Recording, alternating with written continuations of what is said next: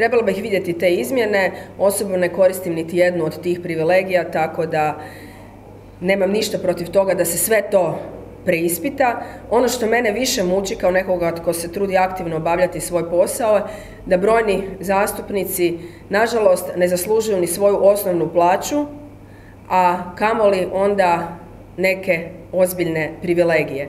Nama je problem negativna selekcija toga da ljudi ne rade svoj posao kako spada, što onda i rađa taj revolt prema saborskim zastupnicima i politici, a ne bi imala ništa protiv da ljudi imaju doista dobru plaću koji će raditi svoj posao kako spada, jer bih htjela da svi ljudi koji će ući u politiku budu financijski neovisni i da mogu živjeti od svoga rada. Ali ljudi koji doista rade, a ne ovo što se danas događa. Poluprazne sabornice, nečitanje zakona, nepripremanje rasprava, a manevriranje unutar privilegija koje omogućuje sustav.